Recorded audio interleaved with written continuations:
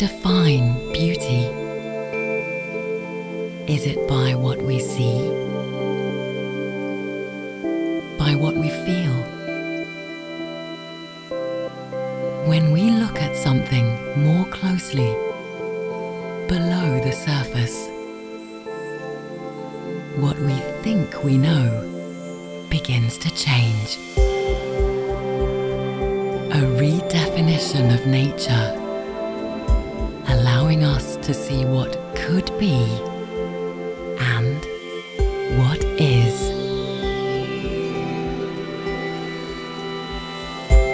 We see the wonder of texture, colour and light, creating new possibilities, reactions and patterns.